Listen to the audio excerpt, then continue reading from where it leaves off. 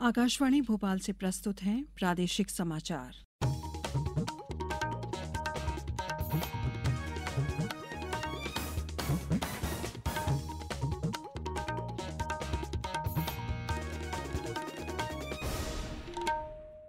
नमस्कार, समाचारों के साथ मैं शेख महजबीन अलमास केंद्रीय वित्त राज्य मंत्री भागवत करार ने बताया है कि सरकार स्वनिधि से समृद्धि योजना पर काम कर रही है। इसके अंतर्गत प्रधानमंत्री स्वनिधि योजना के हितग्राहियों और उसके परिजनों को सरकार की अन्य योजनाओं का लाभ भी दिया जा रहा है। श्री कराड़ आज भोपाल में प्रधानमंत्री स्वनिधि योजना पर मीडिया से बात कर रहे थे। उन्होंने बताया कि इस योजना में नब्बे लक्ष्य हासिल कर उत्तर प्रदेश पहले स्थान पर है, वहीं मध्य प्रदेश अठासी फ़ीसदी लक्ष्य हासिल कर दूसरे स्थान पर है।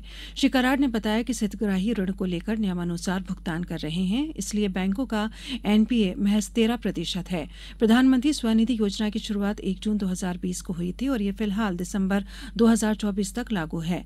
केंद्र सरकार PM street vendor Atmanirbhar Nidhi यानी स्वनिधि योजना के अंतर्गत पथ विक्रेता भाई बहनों को आर्थिक रूप से सशक्त बनाने के लिए दस हज़ार, बीस हज़ार और पचास हज़ार तक ऋण उपलब्ध करा रही है। पथ विक्रेताओं के ऋण पर सात प्रतिशत ब्याज अनुदान केंद्र सरकार दे रही है। भारतीय अंतरिक्ष अनुसंधान संगठन इसरो ने कहा है कि सूर्य का अध्ययन करने के लिए पहले अंतरिक्ष आधारित और सौर मिशन आदित्य एल वन को 2 सितंबर को प्रक्षेपित किया जाएगा। इस आंध्र प्रदेश के श्रीहरिकोटा से दिन में ग्यारह बजकर पचास मिनट पर भेजा जाएगा। यह सूर्य और धरती के बीच एल वन बिंदु पर स्थापित किया जाएगा।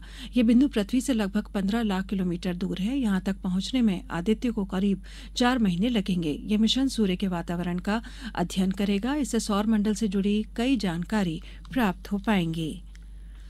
राष्ट्रीय शैक्षिक अनुसंधान और प्रशिक्षण परिषद ने राष्ट्रीय युद्ध स्मारक हमारे वीर जवानों को श्रद्धांजलि नाम से एक अध्याय इस वर्ष से सातवीं कक्षा के पाठ्यक्रम में शामिल किया है। इसका उद्देश्य स्कूली विद्यार्थियों के मन में देशभक्ति, कर्तव्य के प्रति समर्पण और साहस और त्याग के मूल्यों से जुड़ी भावना को बढ़ावा देना है। साथ ही युवाओं में राष्ट्र निर्माण में भागीदारी की भावना को भी बढ़ाना है।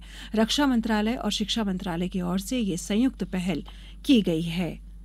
भाई बहन के अटूट प्रेम और प्यार का त्योहार रक्षाबंधन के चलते प्रदेश भर में बाज़ार गुलजार है और सड़कों पर रौनक है, जहाँ एक और राखी की दुकानों पर आकर्षक राखियाँ मनमोह रही हैं। वहीं मिठाई, नमकीन की दुकानों पर भी खरीदारों की भीड़ देखी जा रही है। आगरमालवा ज़िले के बाजारों में खासी चहल पहल देखी जा रही है। दुनिया भर में मलयाली लोग आज ओणम का सबसे शुभ दिन तिरु ओणम मना रहे हैं। आज ओणम का दसवां दिन है। ये राज्य का सबसे बड़ा सांस्कृतिक उत्सव है। ओणम फ़सल उत्सव है, जो धर्म से अलग, समृद्धि, धर्मनिरपेक्षता और एकता का प्रतीक है। केरलवासी अच्छे पुराने दिनों की स्मृति में धार्मिक और राजा महाबली के आगमन का स्वागत करने के लिए इस उत्सव को मनाते हैं। आज राष्ट्रीय खेल दिवस है। ये दिन हर साल 29 अगस्त को महान हॉकी खिलाड़ी मेजर ध्यानचंद की जयंती के उपलक्ष्य में मनाया जाता है। प्रधानमंत्री नरेंद्र मोदी ने सभी खिलाड़ियों को शुभकामनाएँ देते हुए कहा कि देश को खिलाड़ियों के योगदान पर गर्व है। इस अवसर पर केंद्रीय युवा कार्य खेल मंत्री अनुराग सिंह ठाकुर नई दिल्ली में आज दोपहर एक समारोह में भारतीय खेलों पर प्रमुख पहल की शुरुआत करेंगे।